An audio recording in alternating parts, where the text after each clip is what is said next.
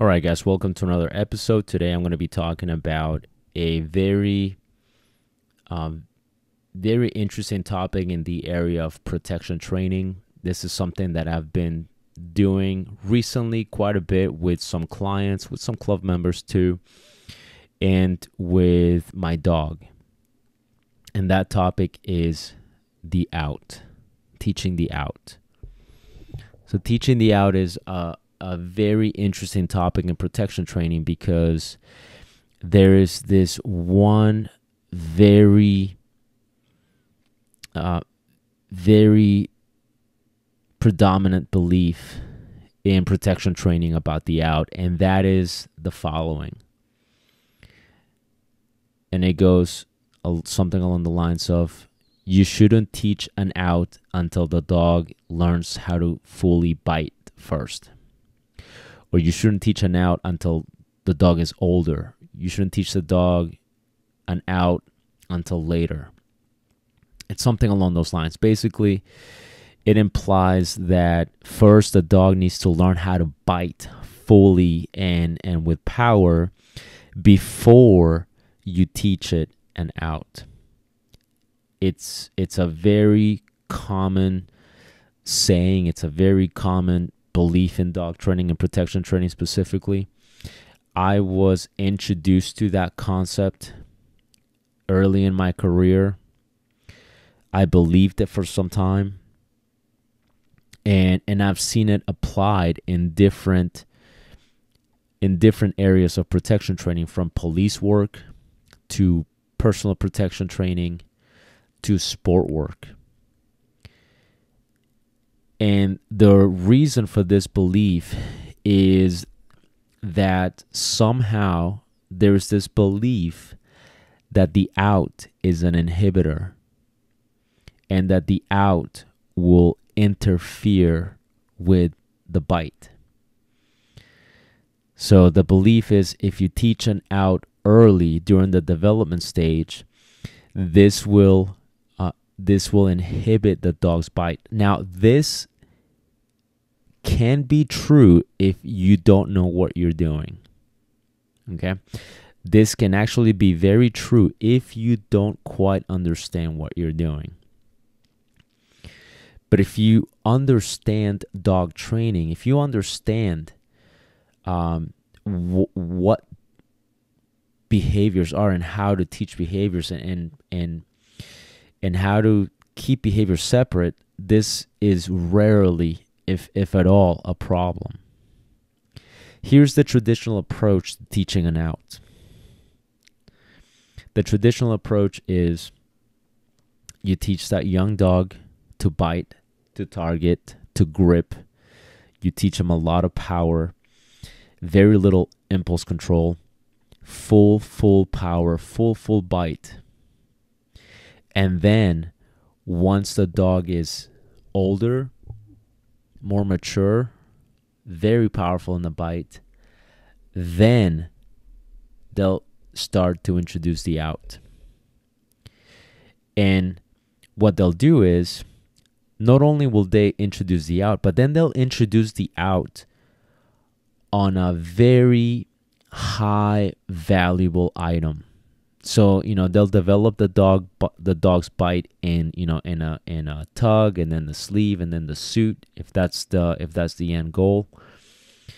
And then when they teach an out, they'll teach an out typically. Okay, I'm generalizing here they'll teach an out off the suit or off the sleeve, whatever sort of the, the most wanted thing it is for the dog. And so then what happens is naturally this does start to temporarily affect the bite because now they're letting the dog know, hey, now that we've taught you how to bite and how to love this thing and, and how to get really powerful with it, now you have to lose. Now you have to let it go when we tell you to let it go. This approach doesn't make sense to me today. I had some questions about it early in my career. And I have seen I have seen how ugly it can get when people take that approach. It just it doesn't make sense. Okay. Now, to some people, to a lot of people, this this uh you know this is a a theme that resonates with them. People go, yeah, that makes sense to me. I mean, why would you want to teach a dog to out when you know you want them to develop their grip and you want them to get powerful? That only makes sense if you don't understand what an out is. Because if you think an out is an inhibitor, yes, it will influence the bite. If you think the out is uh, the uh, the the opposite of biting and and you have to like put them together then yes as you're teaching it that way you're gonna have some issues with the bite. But i don't i don't i don't like that message. It's being sent to the dog. That's not my approach. I don't like it at all. And here's here's why right? So when people when people feel strongly about that approach about that mentality here is how they're looking at it. Imagine if i told you hey um, we're going to teach your dog to sit and to down but we're not going to teach him how to down until he really really knows how to sit. And we're going to teach a very powerful sit like he he we're gonna do sit for like months where he can learn to sit here and there and sit under distractions and all of this. And then months later then we're going to teach him how to down and only that but here's what we're going to do it first we're going to tell him to sit then we're going to make him down Now, obviously, if you train dogs and if you taught a sit and a down, you know you don't have to do that. You can teach the sit separately and you can teach the down separately. Will they sometimes interfere with each other? Temporarily, yes. Temporarily. Okay. Sometimes what happens is as you're teaching a sit and a down, hopefully not in the same training session. Right? That, that that that's a hor- another horrible approach which if you have low experience people tend to do that they'll teach they try to teach a sit and a down in the same session you're definitely going to confuse the dog then but even if you do it properly here's what sometimes happens you're going to tell your dog to sit and occasionally they're going to down instead because they're offering this new behavior that they're also learning all right it doesn't mean that the dog is being disobedient. It just means, uh, you know, I'm still in the learning process, so let me offer this. So that's sort of the approach of we're not going to teach an out until later.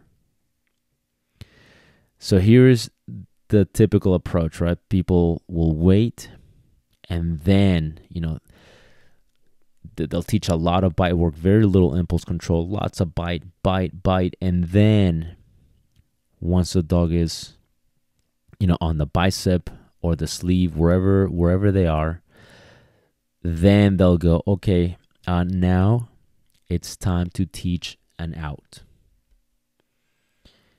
And not only have they waited months, sometimes even over a year before they do that, but not only that, but on top of that, they also expect it to be done in one session.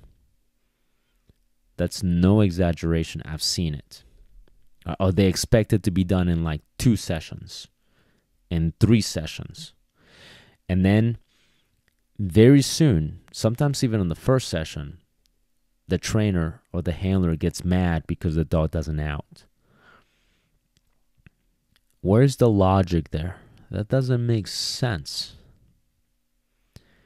right? That'd be like me, again, going back to the down and the sit. I teach the dog to sit and I never even introduce a down, nothing. I don't even reward the dog the dog when it lays down. And he sits for months and I'm like, "Yeah, good job sitting. Good job sitting." And then in one session, I start cranking him into a down. Are there dog trainers that do that? Yeah. Yeah, there are people that do that.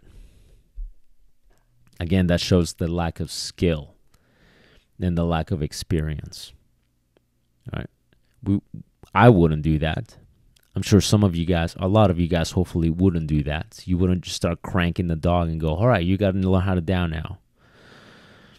This is something that you realize will take more repetitions. So that doesn't make sense. So of course when you take that approach and you go, okay, we're gonna bite, bite, yeah, bite, yeah, nice, powerful bite, very little control, full bite, full bite, yeah, awesome bite, buddy, awesome bite. Okay, now that you're a year and a half, now we're gonna teach you how to out in one session. And they expect it to be done. Now, what's gonna happen? Of course, if you do it that way, it will affect the bite. It will temporarily inhibit the bite because you're taking that approach. It's like you're telling the dog, bite, buddy, bite, bite. Yeah, full power, target, nice. Today, you have to let it go. When I say this word that you probably haven't heard before, and I'm going to make sure you lose.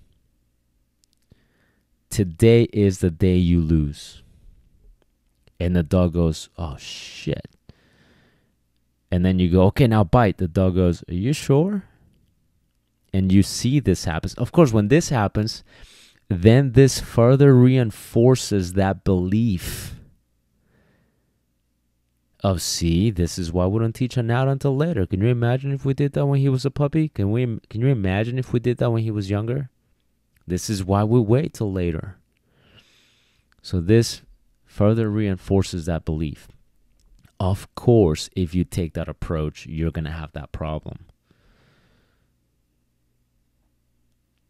So that doesn't make sense right So here is the um, here's the the approach that I firmly believe in when it comes to the out. And I'm gonna use the way I explain it to to my club members, the way I explain it to my clients is this way. When people go, yeah, you know, we're having problems with the out, and I've taught outs, you know, to young dogs, puppies, older dogs, dogs that have problems with the out. Um, here's the way the way I I introduce it to the handler because it's got to make sense to the handler to the trainer. If it doesn't make sense to them, they're not gonna follow through. They, it has to make sense to them. They have to have that breakthrough moment themselves. So I'll tell them. I'll ask them this question. I'll go. Hey, what's one behavior that you are really proud of that you've taught your dog? And the answer is usually, well, he has a really nice heel. Or sometimes the answer is, he has a really nice recall. I like his recall, like really nice recall. It's it's something along those lines, right? Something that people, uh, trainers have put or handlers have put a lot of time into. Uh, you know, it could be something simple. Okay, what's one thing that you really like that you've taught your dog? And for this example, let's say heel because that that is typically one of the answers heel whether it's a flip finish into the heel or a, or an attention heel like okay an attention heel okay let's go with that i'll go how long did it take you to teach that to the point where you went i am really happy with that behavior and depending whether it's a recall or a heel right the answer varies but the answer is typically somewhere along the lines of you know, it took a lot of repetitions. Or sometimes the answer is, oh, it took like several months. Or it took like a couple of months. And the answer is never, oh, one time. In one session, he just learned, and I was proud of it. was perfect. Like at the end of the session, after three, four repetitions, it was perfect. The answer is never that. And I'll go, okay, so uh, it took you several several months or several repetitions, like probably hundreds. The answer is yeah, yeah. It took a lot of repetitions, but you know, finally get to the got to the point where I, I really liked it. I'm like, okay. So if it took you that many repetitions and that much time to teach a behavior to the point where you know it looked really nice, why would it be any different for the out? The out is just another behavior. If you teach it like a behavior, you have to understand that it is a behavior that is worth taking the time to teach. It's a behavior worth spending time into. Another common one is when people go, Oh, you know, like I've gone to this seminar and that seminar, and, and they couldn't get them to out. Okay, it's a behavior. It's a behavior. It, it might not get done in one session, and then you go, crap, I quit. I got to f- figure something out.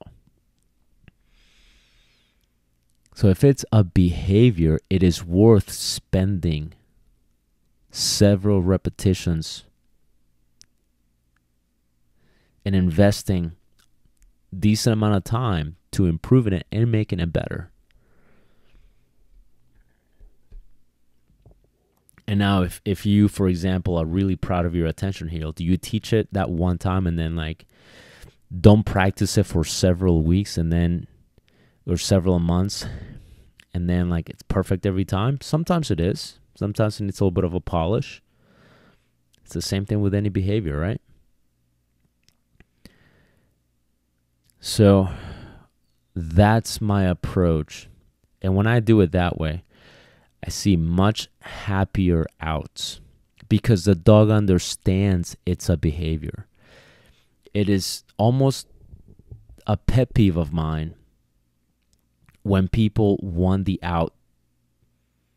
Like it doesn't make sense. Like you, you're gonna wait till the dog is a year old, and then go. All right, we're gonna teach you the out. I expect you to learn it by the end of this session it doesn't make sense, right? It doesn't make sense. If you take that approach, yes, it is going to affect the bite. Because that approach implies the out just means stop.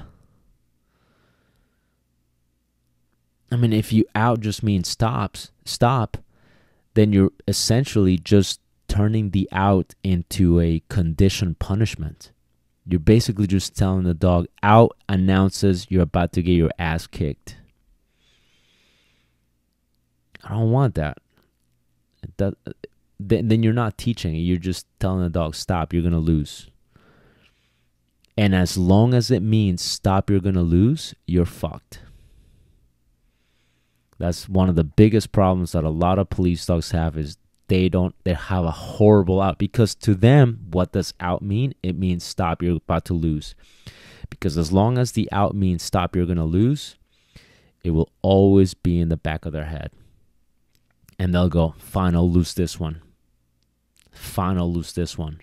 And then one day they go fuck you no i don't want to lose this one. Instead of the out meaning stop I want the out to be a behavior. Once it's a behavior, it means go, right? So here's here's my approach to teaching the out.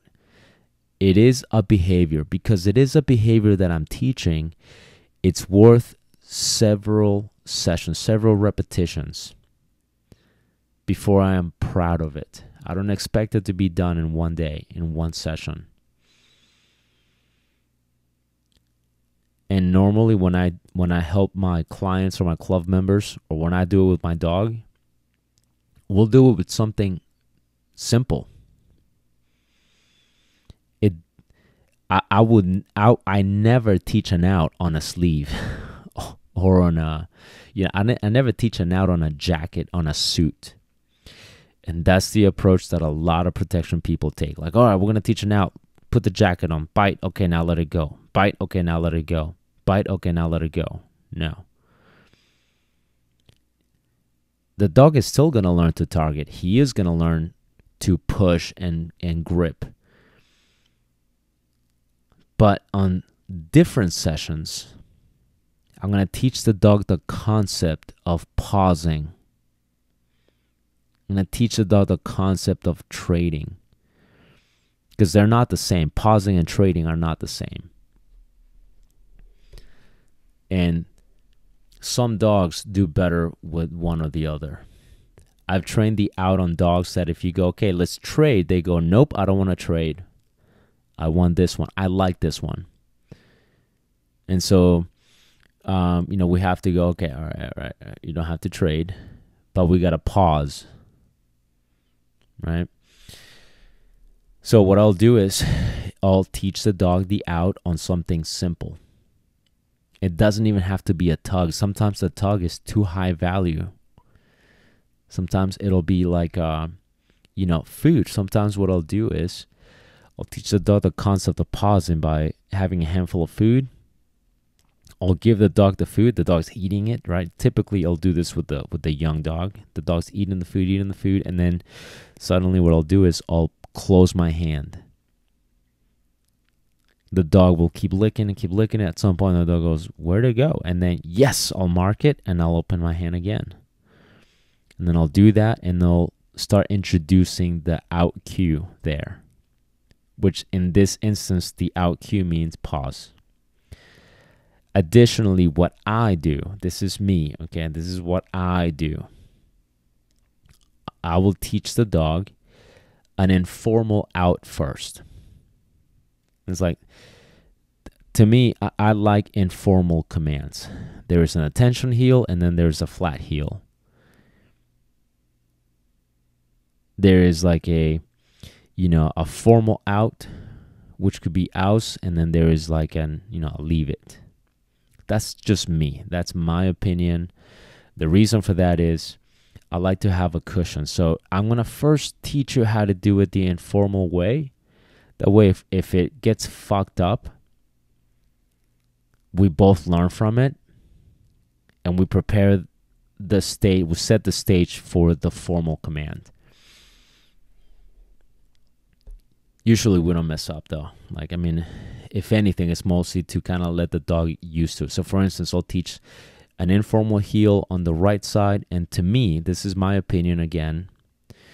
The right side is informal. We're going to go from point A to point B on the right side. And then on the left side, that's Fuss. That means attention heel. So for the out, I tend to take the same approach. First, I'm going to teach you the concept of trading with the a cue that even if I have to say it a bunch of times, not a big deal. If there's a little bit of confusion to it, not a big deal. And then once you understand the concept, then we'll teach the formal out, the formal cue. So we'll start on something low value. First, you know, handful of food, close it, open it, teach the dog the concept of pausing. Then, you know, it'll be like a low value toy. It could be a ball and a rope. It could just be a rope, something low value and then we'll teach the dog the concept of pausing or trading. Now, if you trade like a, a hose or a, or a rope, something low value, with like a piece of food, then the trade makes sense to the dog.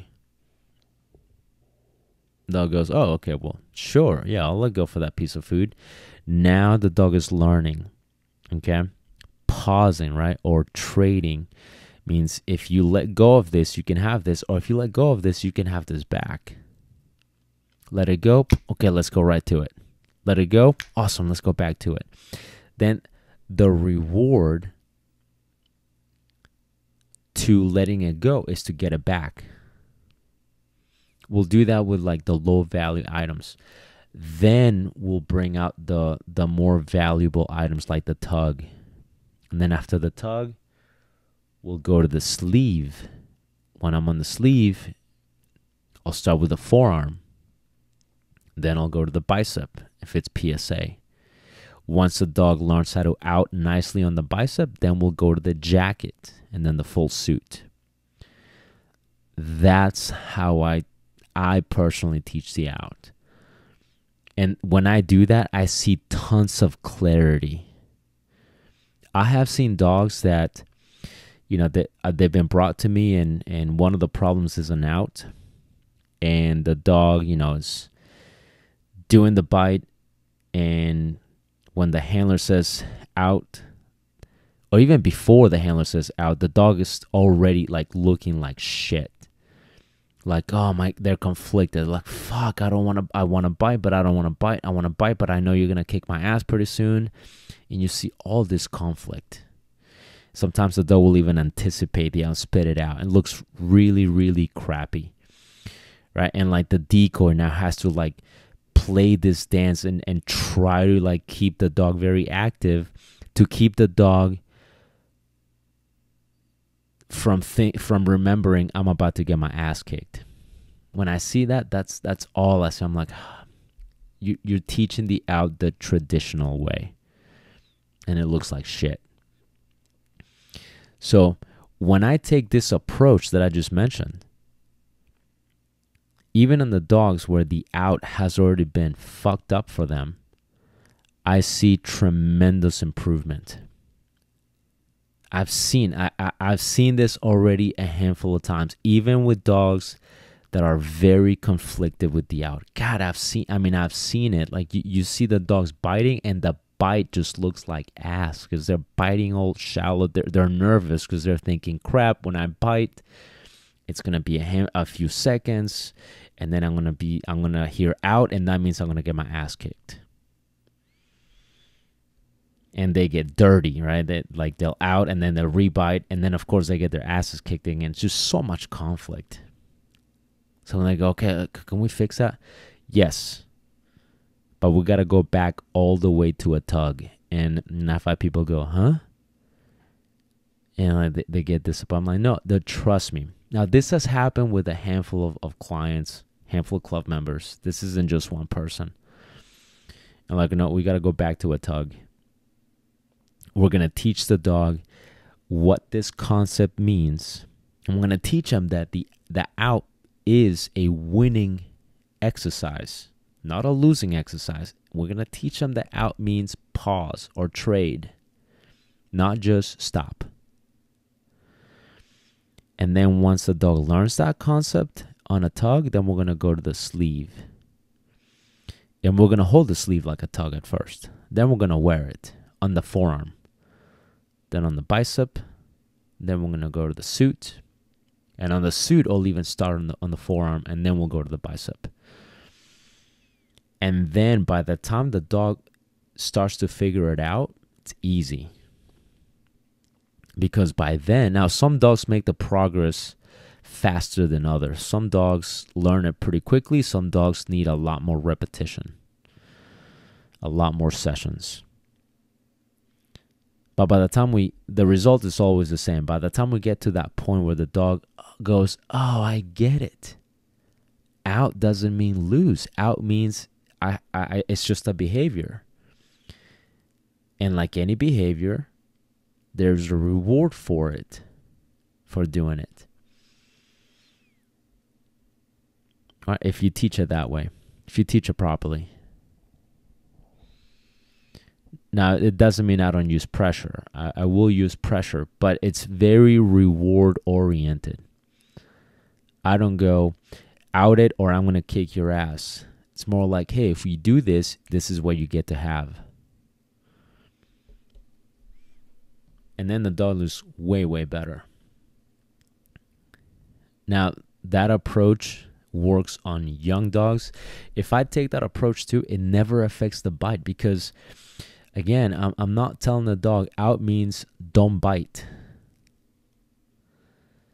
Again, I'm, I'm telling the dog that this one behavior means you get you get to bite again. You get to have it again.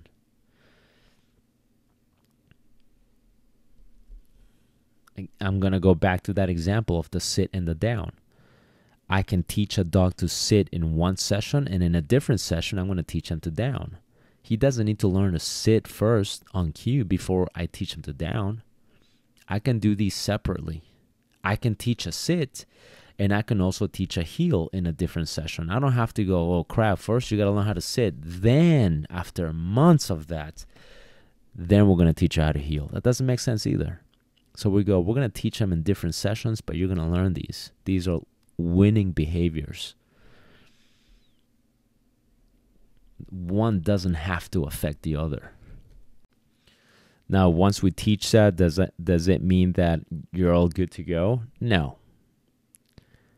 How many times have you told your dog to sit once they really know how to sit and occasionally they go, "Huh? What'd you say?"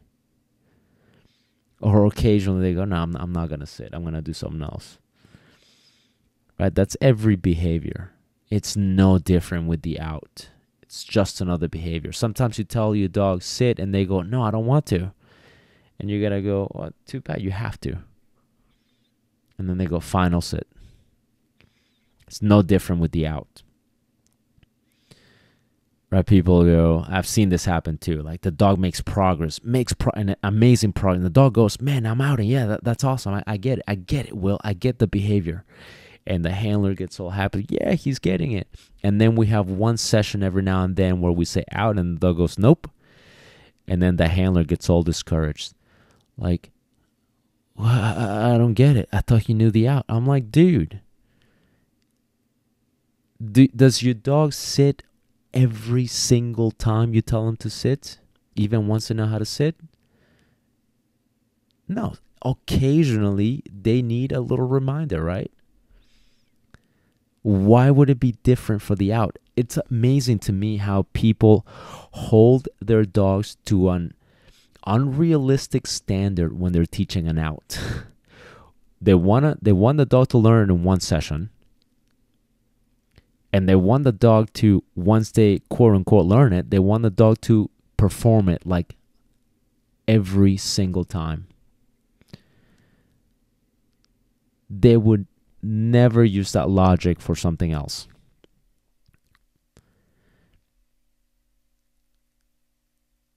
So use your logic. Okay. So remember, an out is a behavior. If you want to teach an out, you have to be willing to put in the reps, invest the time, because it's a behavior you have to prove it because it's a behavior. Anything that you would teach a dog, a sit, a down, a heel, a recall, all the things that you have to do with those behaviors, spend the time, generalize, proof it, remind, remind it, maintenance mode, all of that applies to the out.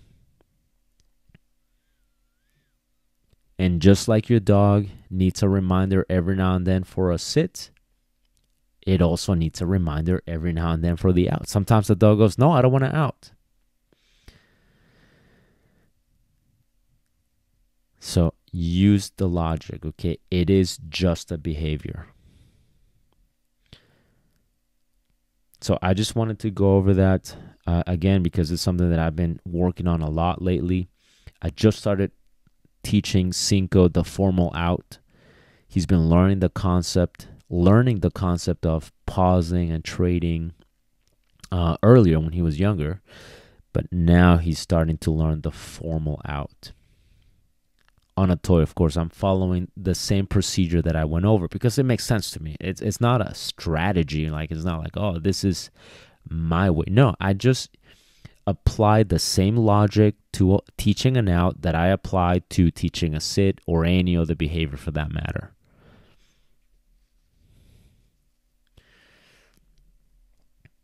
So remember, the out is very important.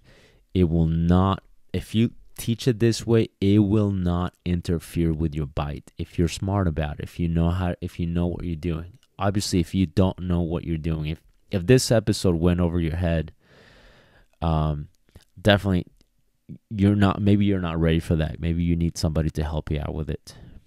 Hopefully somebody who is not a traditional out trainer that goes, "Hey, we're going to teach him in one session." Oh, don't teach him that yet. That doesn't make sense. Like again, I could rant on that for a while, but um, we're just gonna wrap it up on that one. Keep the episode nice and short. Remember to subscribe to my YouTube channel, follow me on Instagram, Facebook, check out my four books on Amazon. Look up William Garrido, G A R R I D O, on the Amazon search bar and check out the books there. I have a um, working dog course on my website. Dog training is my passion, and I've been working on exclusive content. So I'm going to be opening a membership area on the website very soon. So you can access that for a very low monthly fee. It'll be exclusive content. I'm going in depth in a lot of things. I'm to be uh, well I, I've already I've already been uploading a bunch of videos on there. You know, very in-depth, detailed um, videos and how-tos on e-collar training. On uh, the out, it's gonna be on there too, and uh, you know, obedience, a bunch of stuff. So more of a behind-the-scenes look than what I have on YouTube. YouTube, my YouTube channel has a lot of very informational videos but I'm going to go much, much more in depth with a lot of clarity, a lot of details on the membership area to provide you guys with the most amount of value and to help you guys out. So stay tuned with that. Dog training is my passion.com. It's going to be on there. And I'll see you guys in the next episode.